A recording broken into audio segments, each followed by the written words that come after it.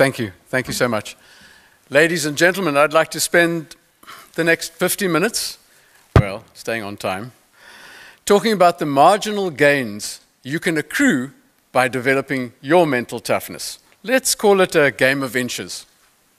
Marginal gains. It would seem that most people want to be successful, significant, or remarkable in some way. This includes not just sports people or, or business people, but uh, environmentalists, caregivers, politicians, and even you. You are involved in a game of inches. You also need to accrue those inches. It would also seem that to, to be successful, significant, or remarkable in some way, you need to stand out in the crowd. You need a differentiator. Now, somewhere there, not there. In 2015, recently, England rugby stood out. But as we in South Africa say, ach shame, arme soties, they stood out for the wrong reasons. But in two.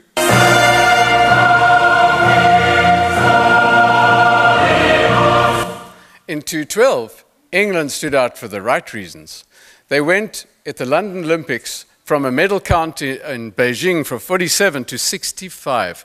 What happened? Did they suddenly get good athletes in four years? No.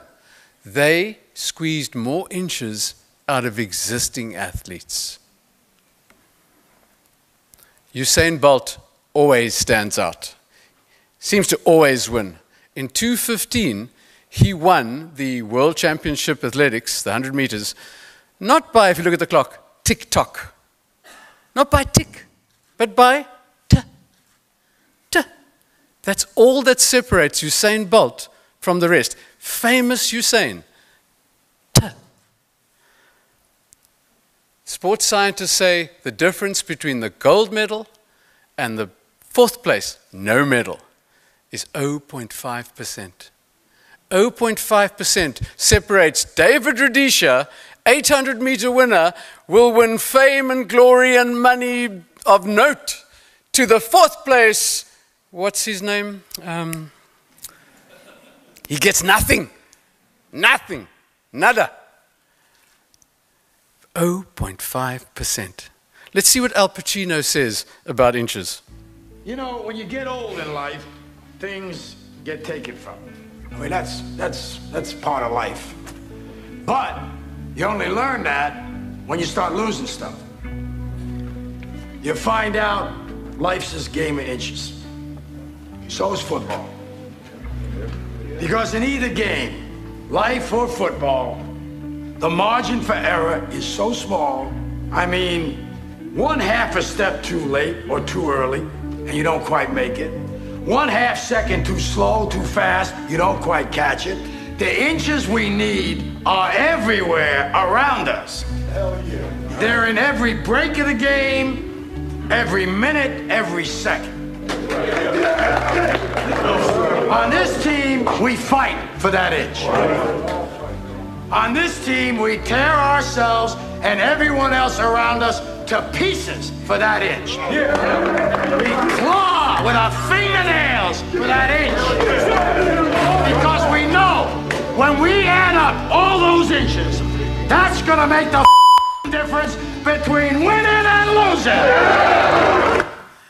When we add up all those inches, it's going to make the big difference between winning and losing. Ladies and gentlemen, those inches are everywhere. Michael Lewis writes in his wonderful book and the movie Moneyball about baseball, true story. It's unbelievable how much you don't know about the game you've been playing all your life. I put it to you, it's unbelievable how much you don't know about purchasing. The difference obvious factors don't make the difference. We all know the obvious factors. It's in the less obvious factors that we get that competitive advantage that makes us stand out. What makes Tom Brady stand out? You heard of Tom Brady? Is it perhaps his wife, Gisele Bündchen? I guess that's a good enough reason to be upstanding. Or is it NFL? Tom Brady is the quarterback for the New England Patriots. They have won four Super Bowl fi- finals in the final minutes. He says the only difference is mental toughness. So, I started speaking about mental toughness quite a few years ago. And uh, I remember after my first talk, one of the audience members came up to me and said, Well, that was nice. And I thought, Nice? Nice as a cup of tea. And he rescued the situation by saying, Well, you can improve by telling more stories. Stories? You know, you've been mind coach, the team manager, of the Springboks, world champion, life saving. You must have so many stories of behind the scenes stuff to enthrall people. And I thought, yeah, well, I, I suppose you're right. Um, I, I, reflected on life saving, surf life saving, and thought of, and looked through all my photographs. And, and, and, and I thought, no, I can't tell life saving stories. That's, I'm going to get in trouble. I can just see the social, the, the media, the glossy magazines. No, it's not going to happen. So, no life saving stories. Then I thought about what about rugby? You know, players, coaches, there must be stories there. Thought about the players. Nah, they're sort of like lifesavers. Not as bad, mind you. I can assure you, lifesavers are here. Rugby players are still a bit naive. But nevertheless, then I thought about the coaches. Coaches. Surely there's good stories around the coaches. And I've known a few over 20 odd years, been around there. And I remember the first time I was asked to work with the Springboks, I got a phone call from Morné du Plessis, and I thought, wow, this is 20 years ago. Well, this is fantastic. I was nervous and excited and went into the team room and, and I started the session with a kind of normal facilitator type thing was, uh, do you have any expect, what are your expectations? Um, are there any questions? And there was a sort of awkward silence. And from the corner, a Joburg accent said, Ja, but I've got a question. Who the, who the hell died and put you in charge? I knew I was in for a hard time. And my rugby stories are all like life saving stories. I will be unprofessional to share them, and I'm back in the media if I shared them. So I thought, well, hang on, where do I get my stories? I get my stories, or firstly, explain to you the old saying of what goes on tour stays on tour. Well, that is, unless you're an ex player or an ex coach, then what goes on tour goes in my book.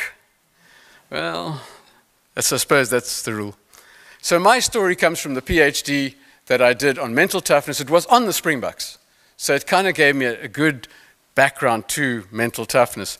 But I move away from academia when I tell the stories because academia will send you to sleep. I cherry pick a bit, I go down a slippery slope of telling my own stories, uh, showing you a few video clips, as you saw Al Pacino. I refer to a couple of books. And by the way, referring to a couple of books, I don't expect you to read them. Why would you do that? But note that those of you that don't read have no advantage over those that can't. In fact, I'm aware that most people spend more on toilet paper than they do on books.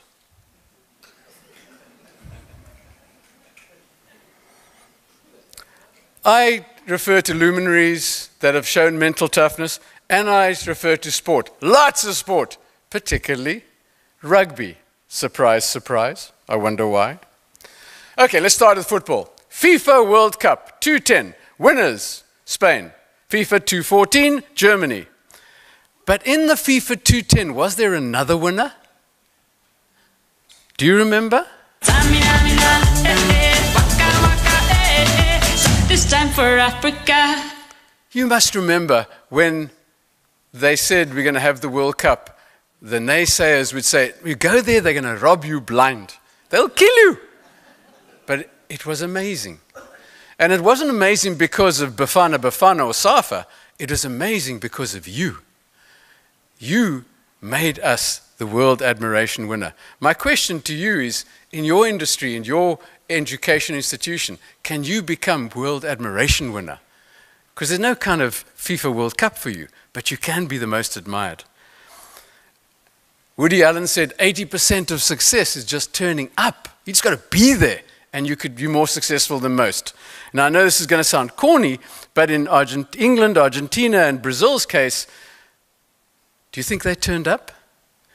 You know, in England's case, despite Rooney, they were ruined. And despite Messi, Argentina got in a mess.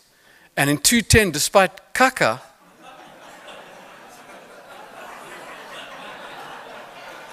Brazil was awful. And in 214, he didn't even play and they were cuck. Uh, at the Super Rugby teams, there's one that's known for not turning up. They've got a reputation. And it's not the Sharks. The only, I believe the only final they turn up to is the Jeffreys Bay surfing finals. Ask Mick Fanning. No, it's the wonderful old Stormers. And their captain was interviewed at one of their many mishaps. And he was asked, Well, what happened? He says, Ach man, I don't think we turned up. And I was there, I saw they were all playing. But he didn't mean physically, did he?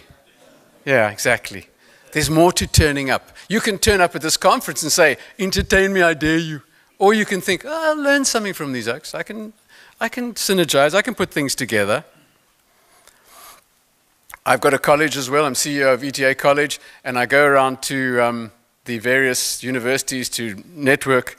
And I went to Professor Paul Avis, the late Professor Paul Avis at UWC, and we spoke about, he spoke about three factors for mental toughness. The first was socialization. He says, it depends on how you've been socialized. What's your reference points? The, when the going gets tough, have you got something you can say, that was far worse than this? It's like a boxer. They've trained their brain. When a boxer gets punched in the nose, it hurts far less than if, than if you got punched in the nose. He also spoke about food. He says, eat for your mind as well as your body. And he says, be very careful that you're not taking powders, pills, and potions. I'm talking healthy foods. If any of you in this room are slicking whey powder and vitamins and they haven't been prescribed by a dietitian, and I mean dietitian, not nutritionist, those are just people that say, hey, eat this. A dietitian, a qualified person. If you're not diagnosed to need that stuff, or you're not training five hours a day like a sportsman, you're just creating very, very expensive urine. and finally, he said, sound, body, sound mind and a sound body. Train, exercise. But he said to me, This thing, mental toughness, the language of extravagant proportions, extravagant claims, spoken by many people and understood by few. Why don't you study it? Do a PhD, I'll, I'll supervise you, and you can become an expert. You can stand in front of an audience and say, Trust me, I'm a doctor. Now that's dodgy. that is the most dodgy claims. As you know, so many people just claim the title anyway, even in government, that. Uh, It's dodgy. Someone maybe you can trust on exercise, and it seems on nutrition too lately, is Tim Noakes. And he said their research indicates the mind, not the body, regulates fatigue. In other words, you think you're tired long before you're tired. Obviously, the muscles are the ultimate arbitrator. But you, because you've learnt, that's when you're tired. So you give up. It works like a fuel gauge. Ping! The red light comes on. You think, empty. No! Reserve! There's lots. Now you beat the opposition. You don't say, oh man, how do you know? I know some people that can operate on the fumes of petrol, let alone petrol. Well, that's a funny statement.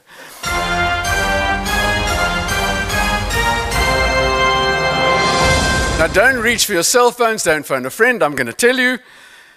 It's the ability to manage your mind so you do the right, to manage your mind so you direct your energy to the right place at the right time for the right reason. You do not waste your energy. Then you'll give your best performance consistently, despite what's going here or out there. And the secret is there is no secret. They're just seven components that'll give you inches. There they are, and we'll go through them, and they're on my website. The first one concentration. Concentration is about living more proactively. It's about increasing your desire for the future and about re- reducing the anxiety for the future. It's about developing and balancing intention with attention. Intention. What do I want? What are the outcomes? Attention. What must I deal with right now? And as you become mentally tougher, those two blend. They become one.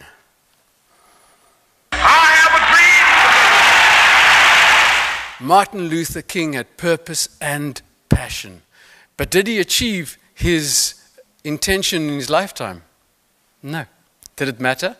Probably not. If he had, he just got another intention.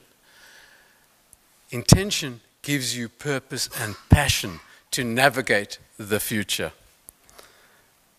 Steve Jobs says, or said in his book, Your time is limited. Everything falls away in the face of death all fear of embarrassment, all fear of failure. There is no reason not to follow your dream. So start navigating the future by setting a big, bold intention. Big, bold intention. And about two years ago, I wanted to get a big, bold intention for my, my college. So I put something together, which I thought was big and bold.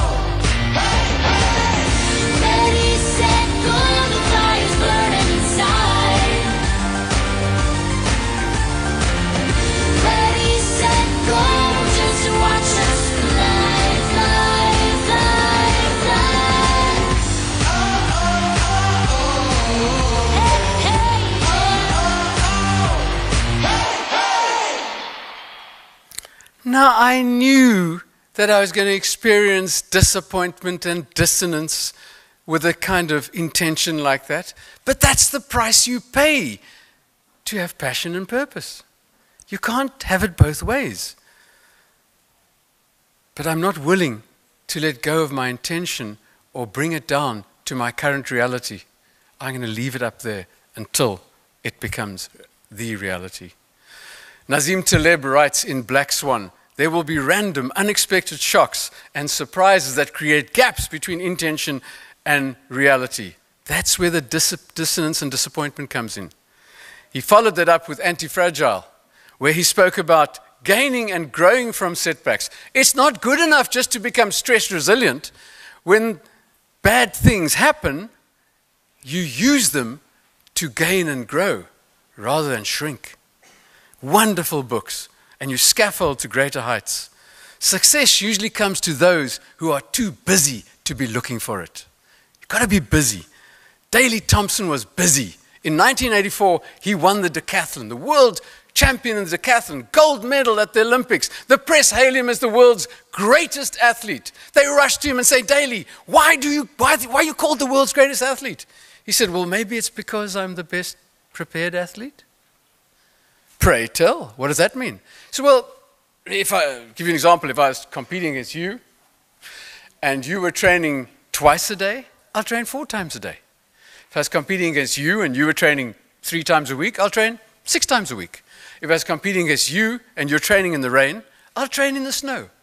I know whenever I went to a competition, I was the best prepared athlete at that competition. Maybe that's why they call me the world's greatest athlete.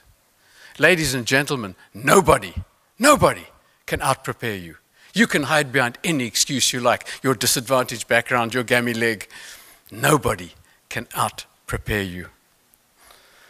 Preparation enables you to give your best performance for longer. And that's sounding like a pharmaceutical ad, so let's get back to sport. you're unlikely to cheat your way to success. If you look at this guy training, he's keeping up with the group because he's cheating. You will not cheat your way to success. You've got to prepare harder than you play. Think about how you prepare. Are you bullshitting? Or are you actually preparing? Or you, when you go out to do an hour's training, or ending up doing 40 minutes? Are you doing, saying I do 20 press ups and you do 15? How do you prepare? Or do you cheat? Bruce Lee, famous karate exponent, said, I fear not the man who has practiced 10,000 kicks once. I fear the man who has practiced one kick 10,000 times. Ladies and gentlemen, that's the man that's going to mur you. the second component is composure. It's the ability to observe without judgment. It has the added benefit that you start worrying less about the past. You are capable of managing the pressure of tense situations. You are ready for action with a calm demeanor. You do not let the pressure of the moment hijack you into a loss of composure.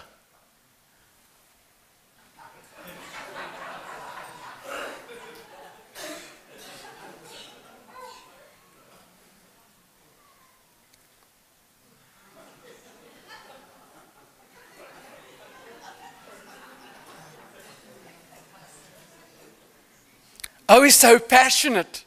No! He's losing composure. Don't confuse pain, desperation with passion. Is two different concepts. I would hate to know who's on the end of that, or be on the end of that microphone. Daniel Kahneman writes in Thinking Fast and Slow Our brain is hardwired. We can be hijacked by pressure, as you saw in the previous slide. Under pressure, we lose composure. We get trapped into thinking too fast or too slow. Become aware of which part of your brain is operating at all times, particularly under pressure, because you have a primordial brain with all your neurological baggage from your evolutionary past. It's an old instinctive brain which can be hijacked into too fast thinking. You make your decisions too quickly, you grab at the first solution. It's like the panic cage, a bird caught in a room, panicking. The other brain, and there's many more obviously, is your new rational brain, hijacked into too slow thinking, which takes too long to find a solution. Like a famous cricket team you may know. In fact, the best cricket team in the world as long as there's no meaningful trophy at stake.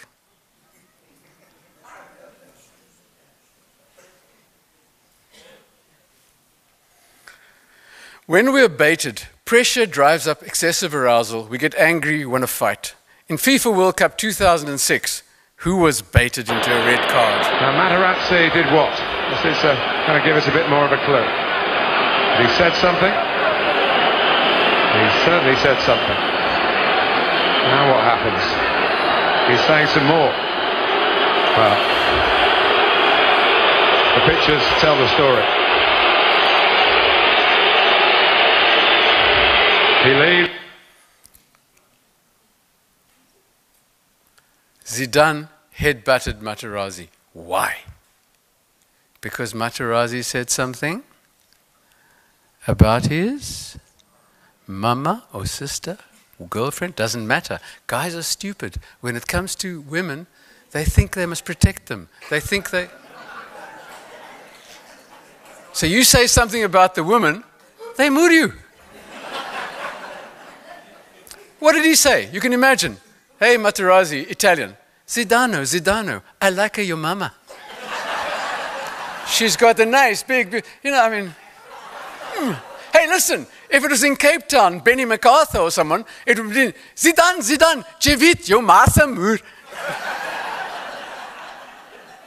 Same thing. If you lose composure, life's probably going to red card you, yellow card you if you're lucky, especially in purchasing. They put a statue up to Zidane, I, I, and it's in Qatar airport. Now, of course, the locals, the locals are in protest about this because how can you glorify this deed? And I, I, I, if I only could get to them, I could explain to them, as you know, in South Africa, our students would sort that out. Hey? They just, no problem. Hey? We know how to deal with this stuff. Or not. Which springbok would you bait? Which one's the obvious one if you want him to lose composure? To tip him. It's the one that's always showing his muscles.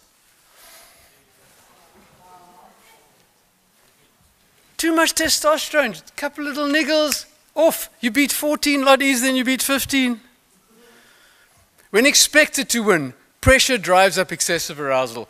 You get fear. If you become afraid, you choke. And I'm sorry, it's them again. Zapiro said, that the Proteas need batting practices in 2004. You know Zapiro, Mr. Zuma's friend? In 2004, we need, they need bat, batting practice, bowling practice, fielding practice, and the Heimlich maneuver in case they choke. And they choke with impunity. A.B. de Villiers this year made the startling claim, it was in the press and on the posters, I took a photograph. Proteas thinking too much. Yes, but it still doesn't matter because knowing the problem doesn't solve the problem. It's the first step towards resolution, but you've got to do much more than just knowing it.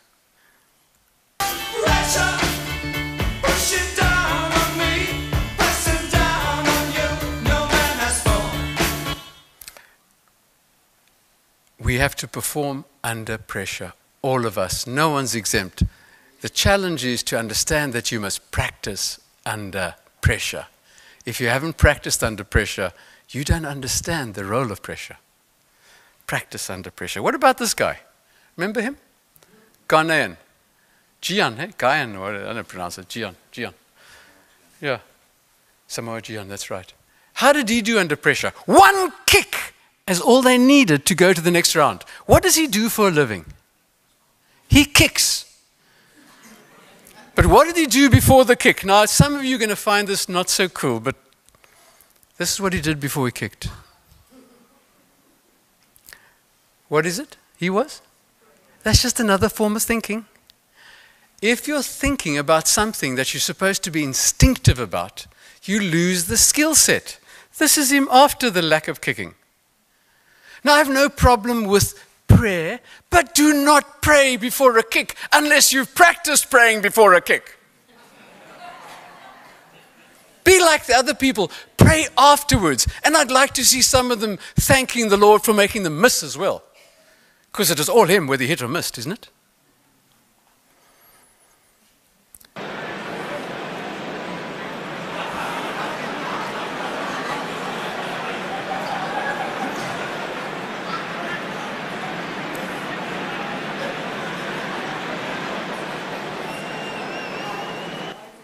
Now that's a routine to settle you. That's it's weird. And it's fine. Get you know, whatever.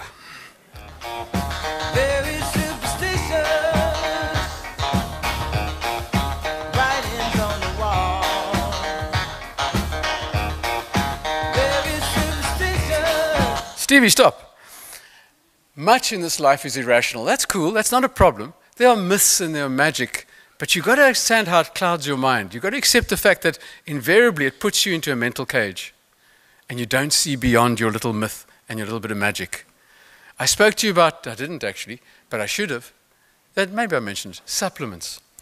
There is no, go to the congresses, proof to support the claims they make. It's pure expensive urine, unless you're training five hours a day, like all of you do. How about this thing? That was so ubiquitous recently. Everyone wearing their energy bracelet. 400 bucks and what? I speak or spoke to people wearing it. So why do you wear that thing?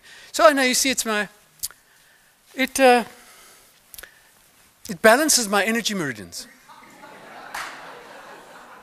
it what? It my chakras, you know, my my energy meridians.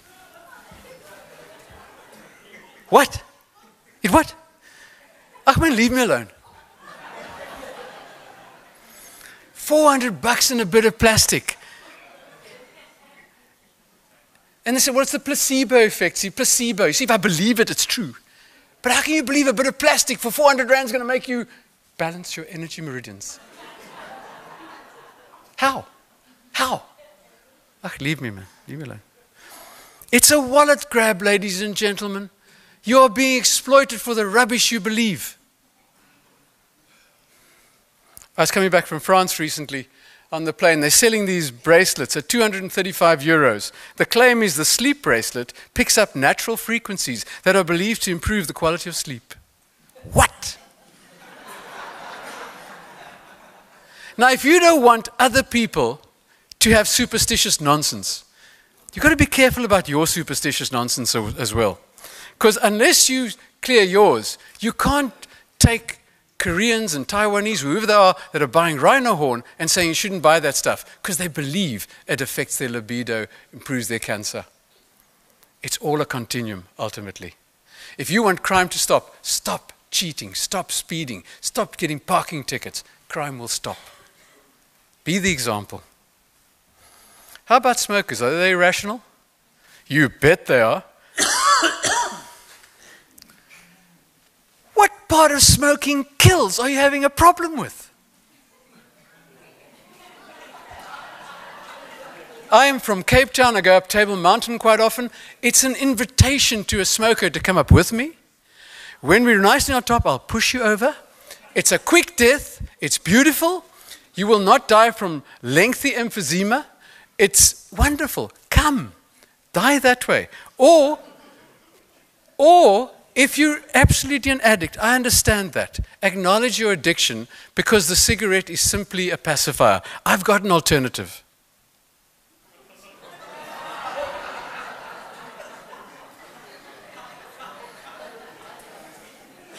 Is Ernie Els always composed? The big easy, the name implies it. Just don't get it.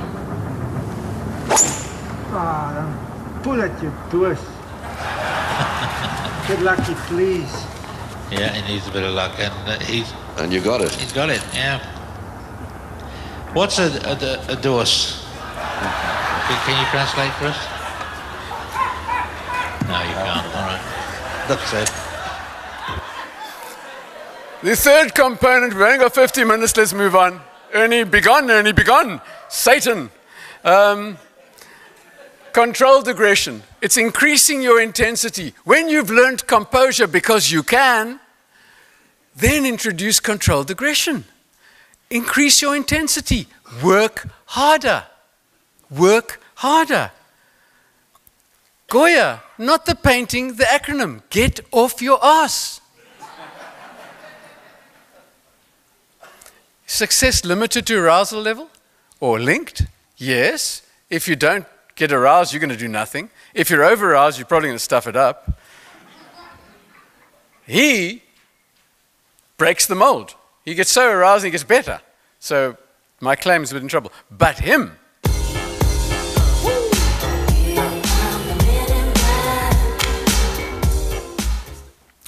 I know it's corny, but he's got willpower. He says, You might be sexier than me, smarter than me, more talented than me, but you will never outwork me. Let's say we're in a competition, you on a treadmill, me on a treadmill. There's only two outcomes possible. One, I'm going to win.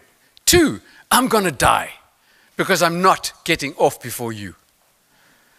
Nobody can outwork you. Nobody. Hide behind any excuse you like. Nobody can outwork you. Is it punishment? Well, to some it seems like it. But as Confucius, he say, when you choose a job you are passionate about, you will never have to work a day in your life.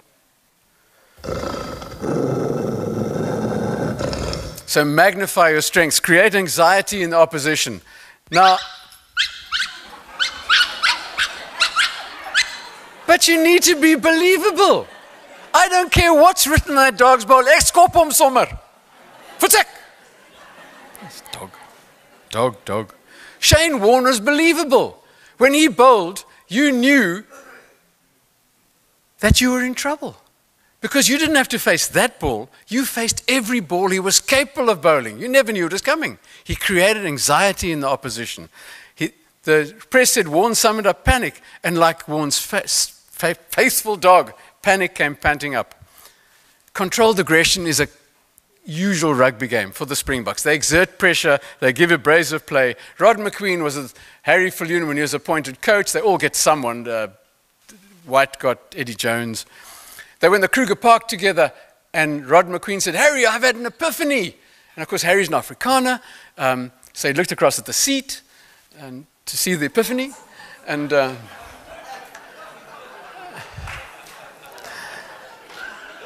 You guys shouldn't be called Springbok because a buck is agile and fast, and you guys should be called Buffalo because buffaloes are big and strong, and thank heavens, from our perspective, they're stupid. You don't play rugby, you play thugby.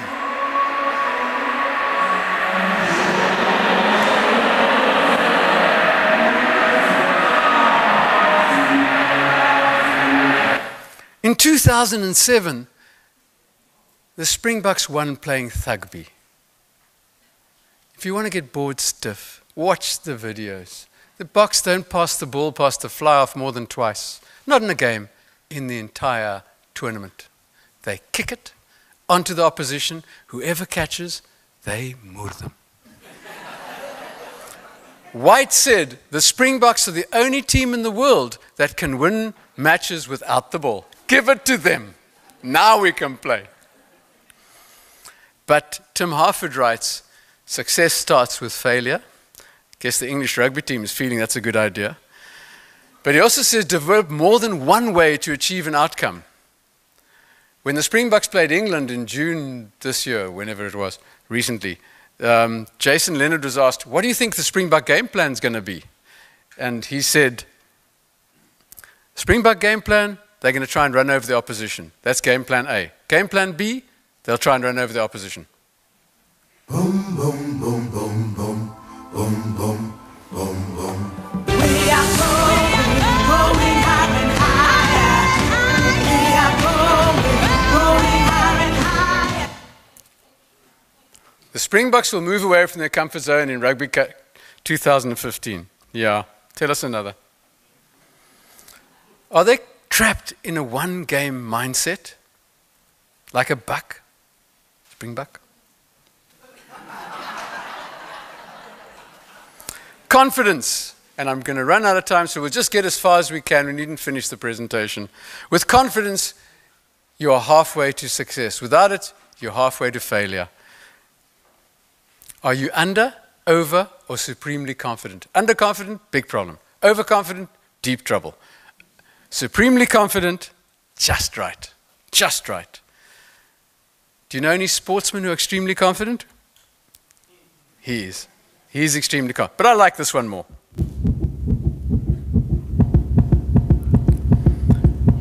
Over the years. When people ask me who I most enjoyed interviewing, I'm unable to give them an answer. If they ask me who was the most remarkable man I ever met, I answer without hesitation Muhammad Ali.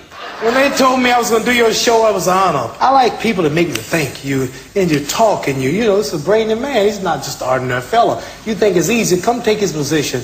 You'll find out that I'm a witty person and it's kind of hard to talk to a man like me. Something that's, that's... Don't point at me. Sorry. it's, it's something that... See, we uh, black folks don't like white folks pointing But it's all right for you to point at me. Yeah. Huh? But they... But why, why, why, why do you say that? I mean, do you mean that? Say what? The, the, you black folks don't like white folks? No, I'm joking. You're joking, eh? That's good.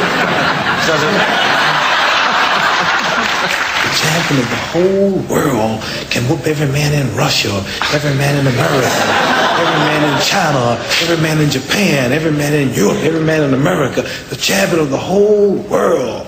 That sound big then. So I kept working until I did it. Not be champion of the whole world, but better than all of those before me.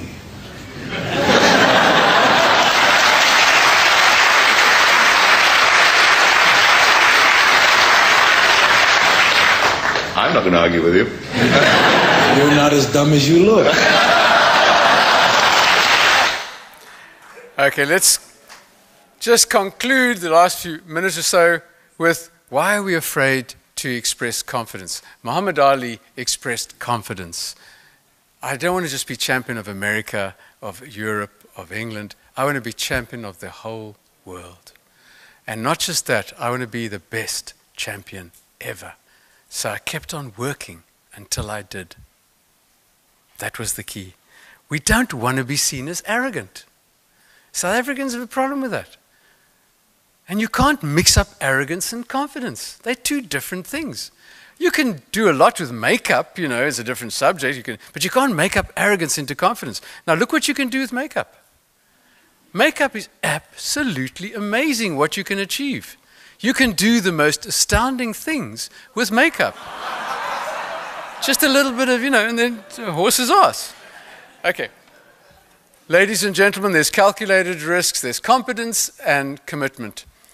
You can read my website. If you please do, go to my website, steveharris.co.za, or Google me, Steve Harris. If you Google Steve Harris, you're going to get the Iron Maiden guitarist. I'd like to be him, but I prefer being me. I just down the list a bit.